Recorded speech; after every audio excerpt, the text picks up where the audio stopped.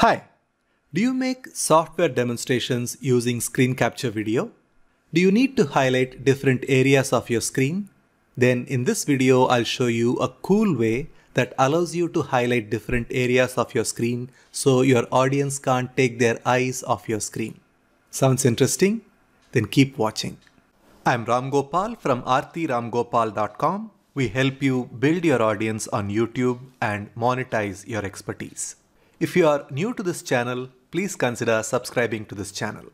The usual and unprofessional way of highlighting different areas of your screen is to use your cursor as a laser pointer and keep circling around the area you want to show. This sends the audience in a dizzy and it doesn't really look professional. Now, take a look at the alternative way of presenting the different areas of your screen. First, I draw the viewer's attention to a specific area of the screen. They don't really have to follow the cursor anymore. Once I finish the explanation, the area of highlight moves to another area and you have a neat caption that explains what that area is about. Once that is done, I show the third area with a corresponding caption. This makes it quite easy for the audience to follow what you're saying. Even if I want to show the small areas, I can show it like this and the beautiful movement of the area being highlighted ensures that your audience stays with you all throughout. And this is a far more professional way to present the different areas of your screen. Now let me show you how I achieved this animated highlight so you can do it in your own demonstrations. Here we have the screenshot of the screen and I'm going to highlight three different areas on the screen. The first thing I want to highlight is the top area called as PowerPoint ribbon. For that, I need to go to annotations and here the fourth tab is called as special you click on it and you get blur and highlight options. The one that we want is the second one called as spotlight. So let me click on that option and place it on a separate track. Now, when I move my playhead onto that area, you can see that I have this spotlight shown. If I want to adjust the intensity of spotlight, I can go to this option here for properties and increase the intensity like so, so that the area that is highlighted is even more accentuated. We are going to use custom animation in Camtasia to achieve the effect that I showed you. So let us go to animations and go to this option called custom and you will find that in the animations tab usually zoom and pan is shown so you need to click on animations tab and that gets you to this option here called custom. Now I'm going to click and drag that option and place it at the start of the highlighter or the spotlight. Now you see a green arrow here there is one end which is red in color which shows the end position and we have the starting position shown with this small spot here. Now at the starting position, I want the entire screen to be shown. So I'm going to make sure that I place this highlight so that it covers the entire screen. Now this is the starting position. Now how do I want the end position to be? I'm going to move the playhead to the end position. Can you see here? Now my playhead is at that point where there is red circle. Now I want to adjust this so that I only highlight the area that I want to highlight. So here I have this area being shown and this is called as PowerPoint ribbon. Now to reinforce the terminology used for this area, I'm going to use an annotation. For that, let me once again go to annotations and this time I'm going to choose the first one called as callouts.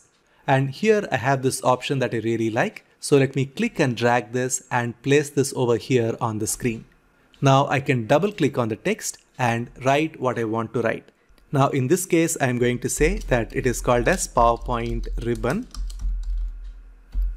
And then I can select everything and change the font type.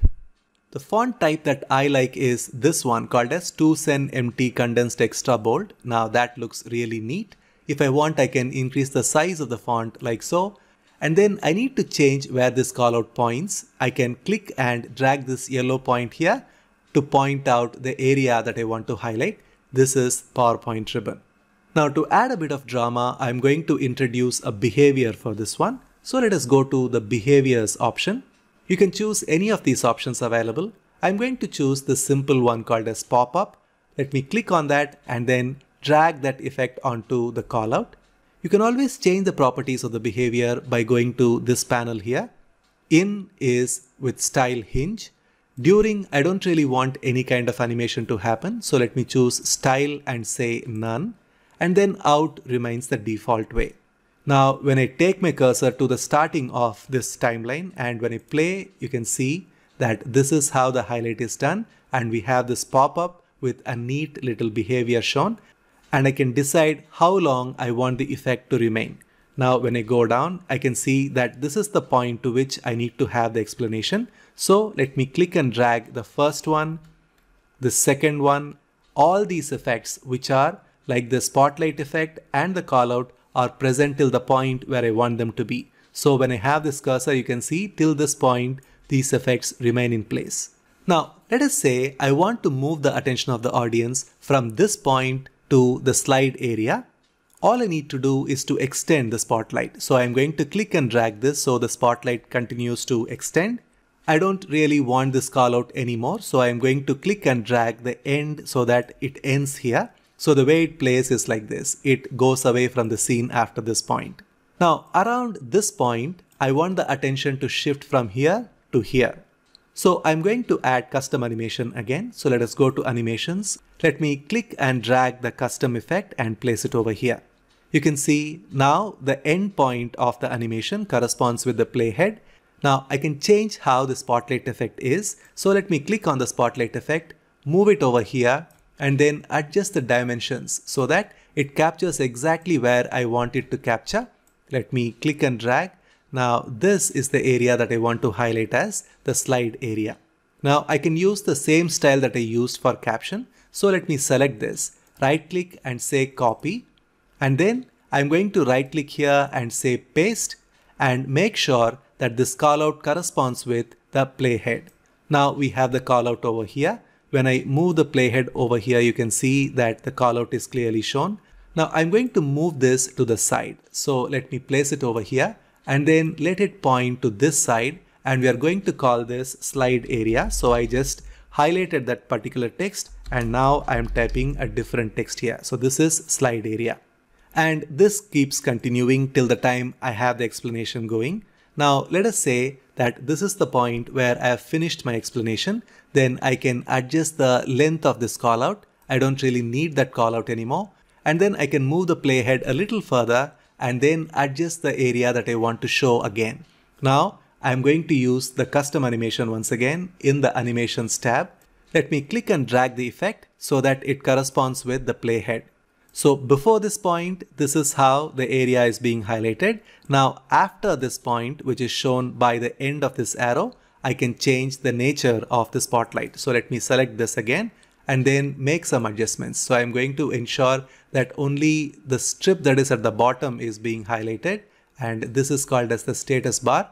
So let me drag it in such a way and then I'm going to add a caption here. Once again, I'm going to use the same caption that I used earlier copy and then place it over here, paste, and then make sure that it corresponds with the playhead.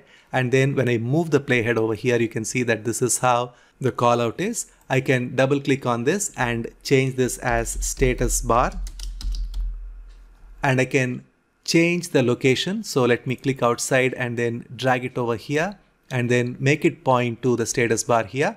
Now that looks beautiful.